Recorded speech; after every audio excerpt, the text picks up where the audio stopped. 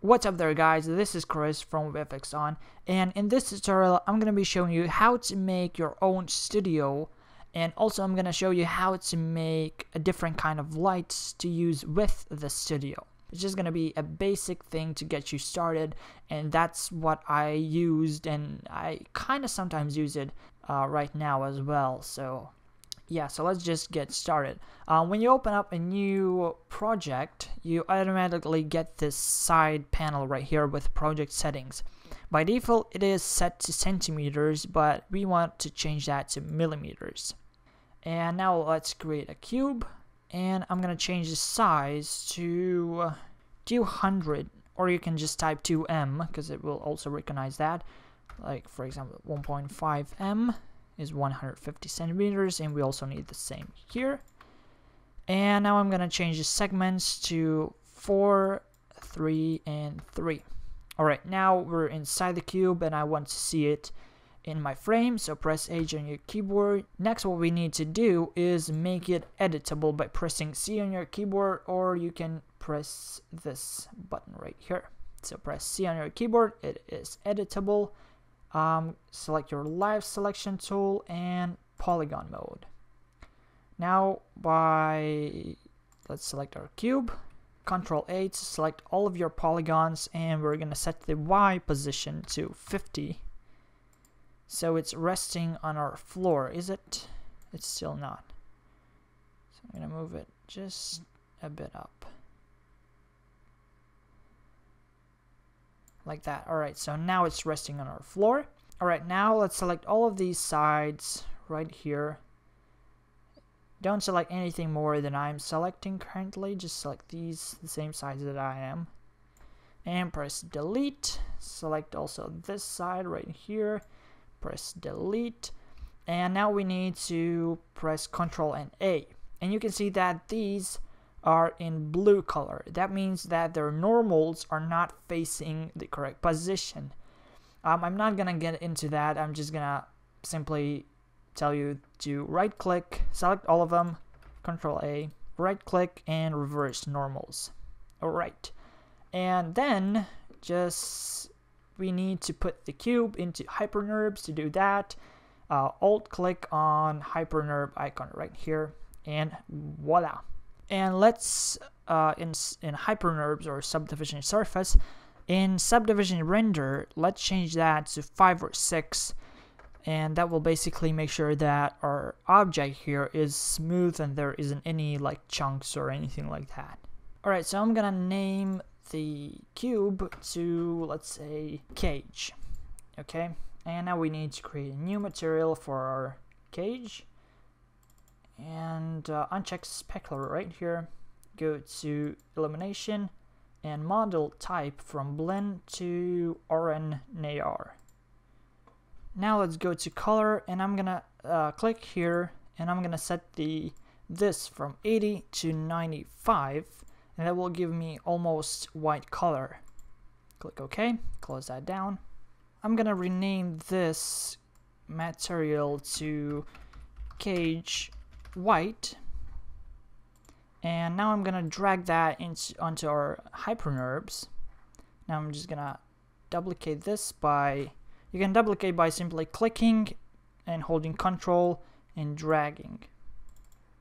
I'm gonna rename this to cage black. So click again here set this value to 10 which is almost black as you can see Click OK, close that down, and I'm gonna create another copy and name this gray. Click here and set this to 50, so that's in the middle. Okay, and we have a very nice gray color. Alright, now I'm gonna drag the cage black onto our hypernurbs and also cage gray. And then I'm gonna drag the cage white all the way to the right side. And also I'm going to drag the black here in the middle. Alright, so from here on now, we're gonna work with the light. I know this doesn't look like some professional studio kit or something like that, but it will get you going, so. Alright, so here I'm gonna set a camera, and also I'm gonna create a sphere move it up. Let's see if it's in a good position. I'm gonna go, let's say it's about good.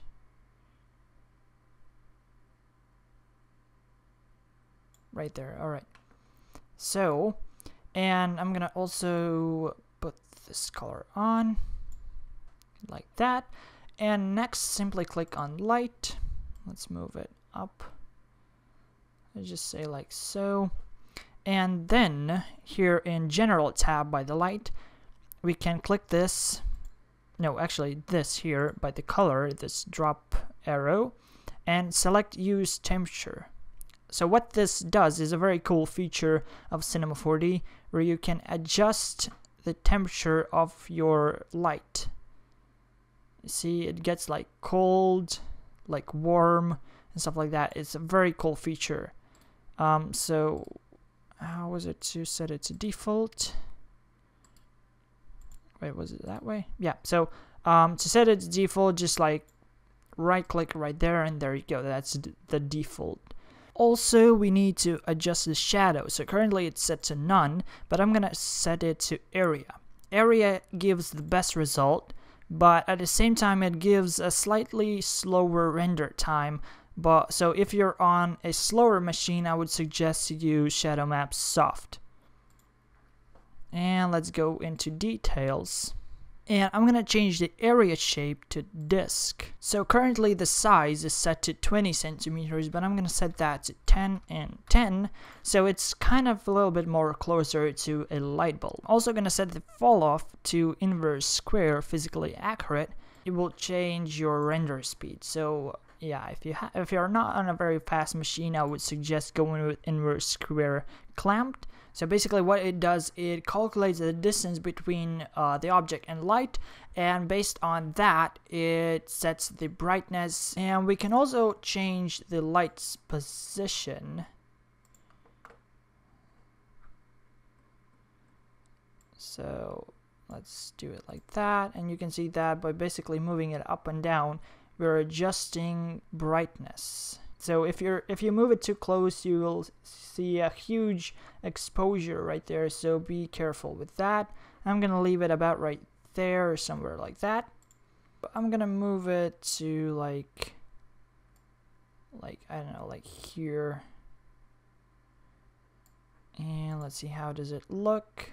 You can see that it gives us a lot of shadows, a very good uh, light on top and a very good seamless background right there.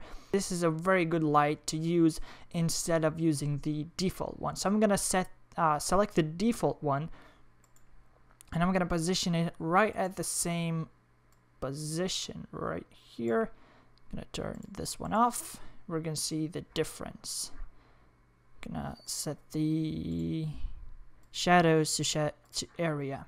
So you can definitely see a difference right here. You can see that uh, the top of our object is not so bright, so I would definitely use this because it gives a lot lot better result at least in my I'm also gonna right click go to Cinema 4D tags and use target that's gonna help us out in uh, future when using this light so guys I forgot to mention one thing here is basically we did set the target tag right here on our light and we're gonna uh, group this object. So Alt plus G.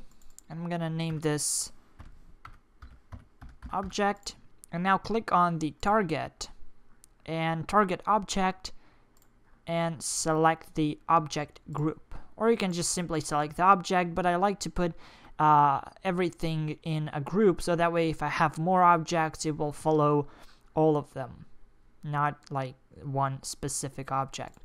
So yeah, if I'm gonna I'm gonna go out of the camera, and if I move the object, you're gonna see that the light is following the object. So that's a very cool feature to have. Alright, I'm gonna copy this, and instead of using the cage on our sphere, I'm gonna right click, name this uh, shiny. Oops, my bad. What did I just do? Shit. So let's copy that. Let's name this shiny. And that's the same. Let's go to reflection. And I'm gonna click here. That's 100 all right. Texture Fresnel. Double click and click physical and use plexiglass. And let's close this down and use this for our sphere.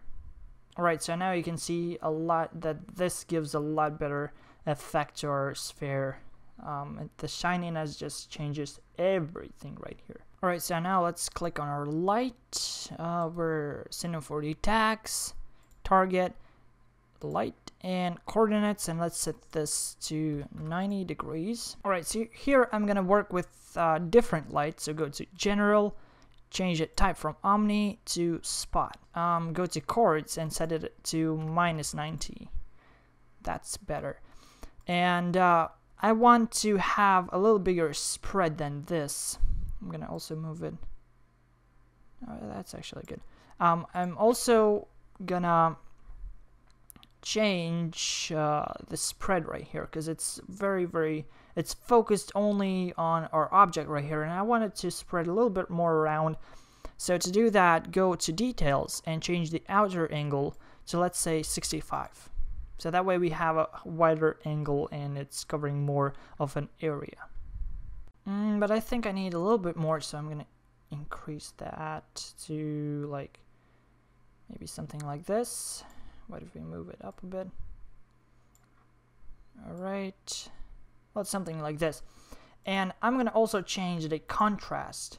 So I'm going to change that to minus 50.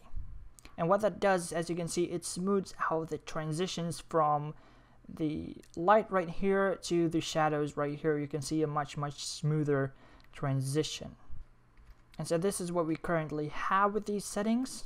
I'm gonna now focus on creating a light that is using a barn door attachment for your light. And that basically gives the light that sort of square look. So let's go back to Cinema 4D. Now let's go to General and change the type to Square Spot. And also let's go to Details and lower the outer angle. And you can see that I can see the square right there already. So we can see the square right now. And uh, so I changed it. So this is a result of using outer angle of 58. And you can see that square looking light effect. Alright, so next light that I'm going to focus on is most commonly used in uh, studio kits. And that is softbox. So go to general tab and change the type to area.